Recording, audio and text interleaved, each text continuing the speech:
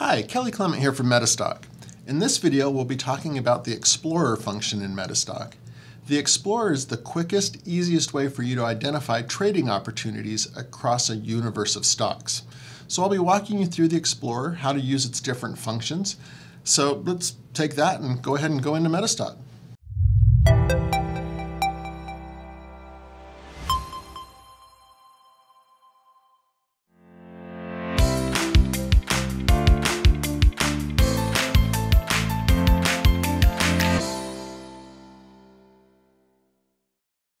So when you first open up Metastock, what you're going to come across is the Power Console.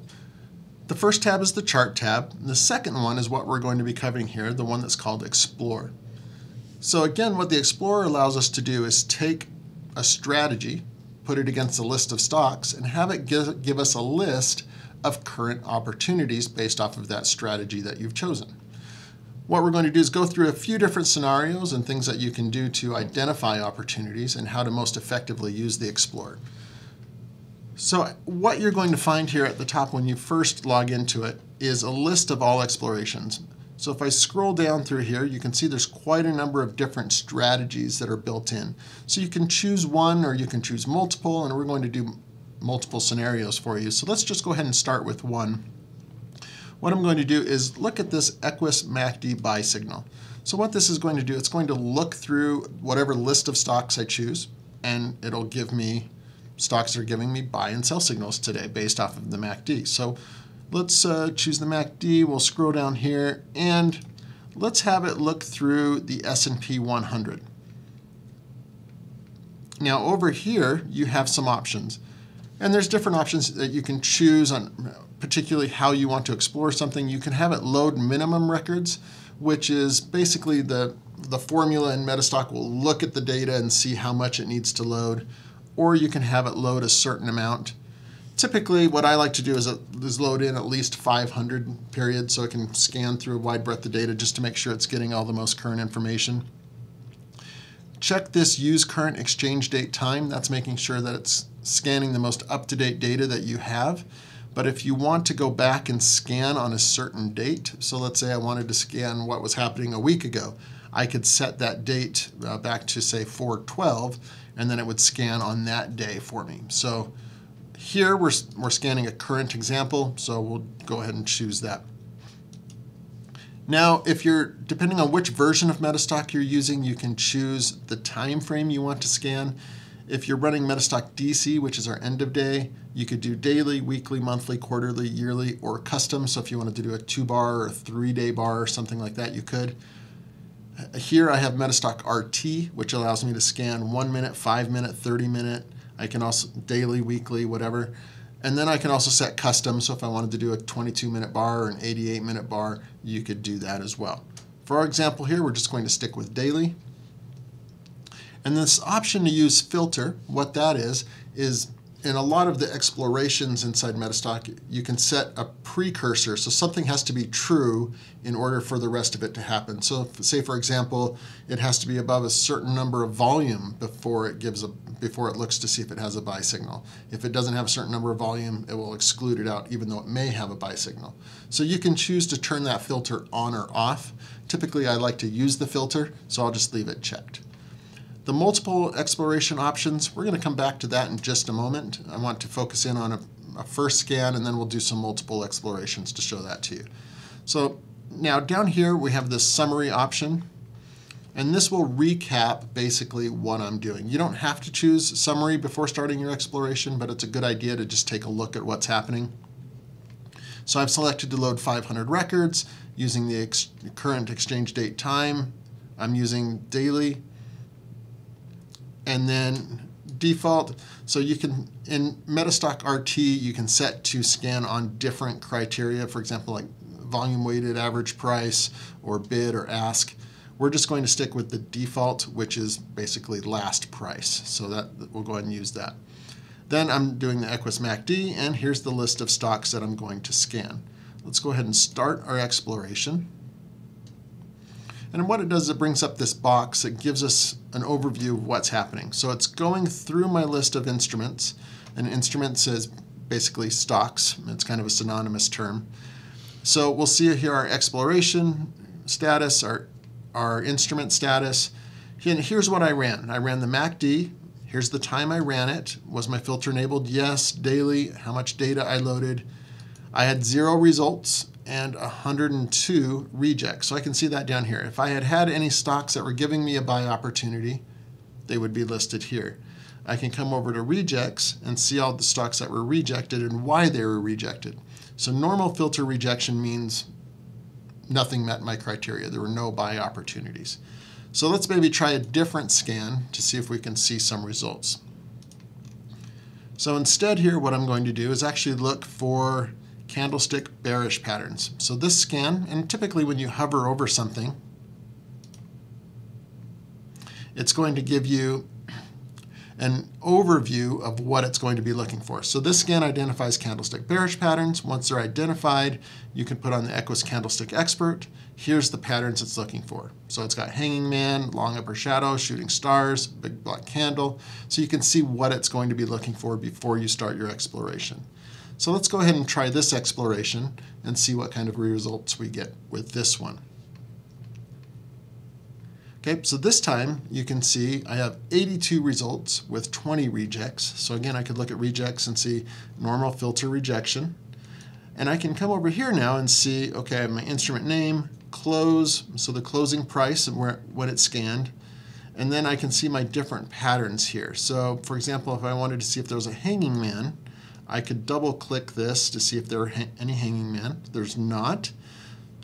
We could rank by any of these. So now we have a long upper shadow. So I can see Charter Communications here had a long upper shadow. So when you see a result, it's designated by this one. If there's not a result, it's designated by a zero, uh, letting you know if whether it's true or false.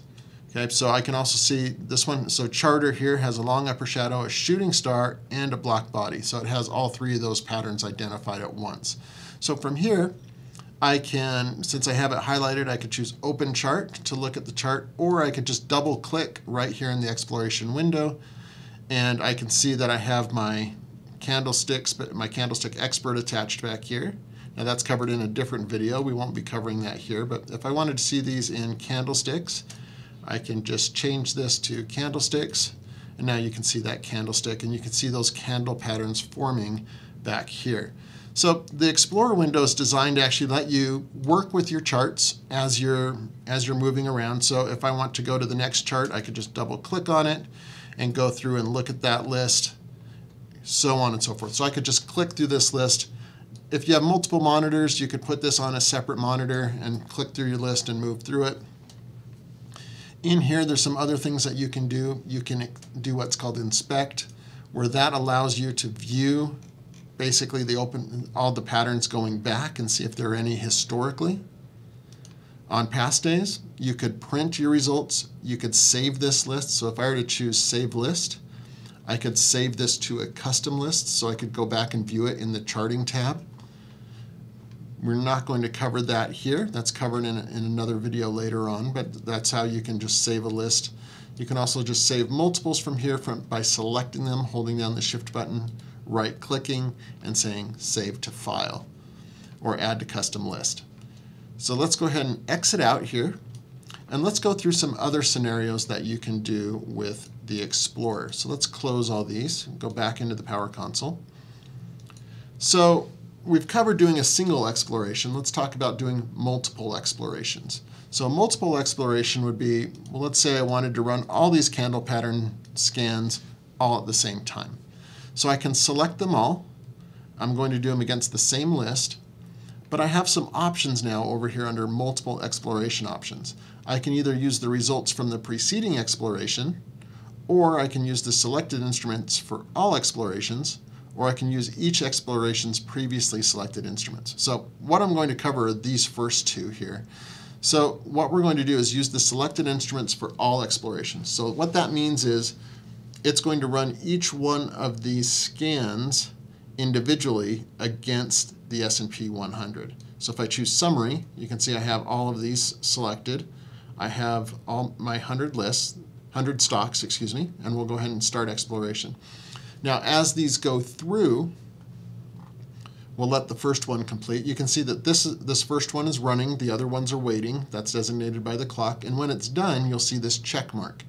And as soon as it's done, I can start working with that list. I don't have to wait for all the others to complete. I can just go ahead and jump in and start here you can see that we have, again, those same results, and it's just like working with that single exploration, but now I can click through and I can manage multiple all at the same time without having to go back and look at each one individually. So very easy workflow for identifying opportunities here with running multiple scans at the same time. So that's one example of what we can do with the Explorer. Another example of what we can do so let's let's actually select a different set. If I, if you had sets, if you had some selected and you wanted to remove all of them at the same time, just come up here to the top. You can see you have I have three explorations checked. I'm just going to uncheck that and that will remove all of them. So in this example here, what I'll do is I'll choose the RMO. Now the RMO is another strategy in Metastock. You can watch videos on the RMO but this is just an example of what we can do with scanning. I'm going to choose the RMO bullish zone, a new blue bar, which is a criteria for it, and a buy arrow. So this is looking for three sets of criteria to identify a trade. Now you could do the same thing with MACD, you can do the same thing with RSI, with volume. You can, you can tier explorations to help you find things easier. So this time what I'm going to do is use the results from the preceding exploration. Now what I'll do is choose Summary. And now my order here matters a little bit. So you can set what you want to happen first. So for example, I want RMO bullish zone first, so that one's already selected first. And then let's say I wanted swing trade buy arrow to be second, and then new blue, blue bar. You can rank these and move them around by choosing these arrows and setting your order. So in my case here, the RMO bullish zone has to be true first, and then the new blue bar has to be true, and then swing trade buy arrow. So it'll look through each, through each one of those as a precedent. So let's go ahead and start our exploration, and you'll see how this kind of helps us filter down and get an even more powerful buy signal by incorporating multiple strategies together. So again, we did that same S&P 100 list. So you can see here I had 68 results on the first scan. The next scan rejected out 66 of those 68 and left me with two. The next scan filtered out one of those two and left me with one result. So Morgan Stanley here in this example met all three of my criteria in that order of setup. So you can see kind of how it will go through and I can look at each one that was rejected in each list so here I can see Abbott Labs had the new blue bar, but the swing trade buy arrow had all three criteria. So it's a great way to narrow down, but still be able to go back to the other lists and see what's going on. Let's go ahead and choose exit here. Now, let's say that you've done a lot of explorations. You kind of want to go back and look at what's happened in, in an exploration that you've run. So you have some options with that. If I, let's say I wanted to see all the stocks that were in that RMO bullish zone, I can right click on that, choose report, and it will show me just that report. Okay, so this, you can see that was the one that I had 68 results with 34 rejects. But what happens if I want to see all the reports that I've run, if I want to go through and view them all? Well, there's an option up here at the top where we can just right click and you have this option for view all reports. So I'll just choose that and this will show me all the scans that I've run in their, with their most recent report. So you can see these are all the scans we've talked about so far in this presentation that we've run and you can see the, the rejects, the results, how many periods I loaded. If I'd run a different time frame, say a 30 minute, that would show here. So whatever time frame it ran. So all that information is available to me. If I want to know more about an exploration and what it was scanning, I can come over here and choose view details. And this will give me that same overview as to what I saw earlier, um, letting me know what it's scanning for. And then down here, you have the filter. So this filter is saying it's, it has to be true in some of these columns for it to display a result. And then in here, I can choose what the formula is and see how the formula was written. Now, some formulas are going to be locked. You're not going to be able to see them all. Some are open, and if they're open, you'll be able to see them here. If they're locked, it'll say password protected. So let's go ahead and choose cancel here. Now, that gives you an idea of how we can go through and we can scan on single lists, multiple explorations, and different ways of doing that. There's one more thing I'm going to show you before we wrap up, and that's how to make set up favorite explorations. So as you're going through and you're exploring Metastock, you may find that there's certain scans that you like, certain scans you don't like. So what we have up here at the top is this favorites option. So let's say I wanted to add, add in these candlestick patterns. Well, what I can do is just right click on it and say add to favorites. And you see it's now in the favorites, but it also remains down here at the bottom, so it's in both places. Let's just add in a few of these to favorites. We'll add in the doji patterns as well. And so now you can see I have the three favorite scans. So that way you don't have to scan through this big list of explorations to find the ones that you want every day. They're just right here at the top.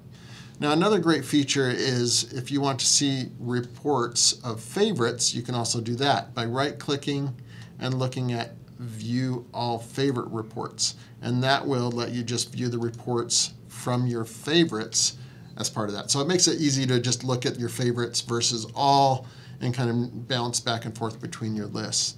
So you can see that the Explorer is a very powerful tool. It can really quickly help you zoom in and identify opportunities based off of the strategy that you choose. I hope that you found this video instructful and useful and you can apply it to your trading. And I do wish you successful trading and have a good day.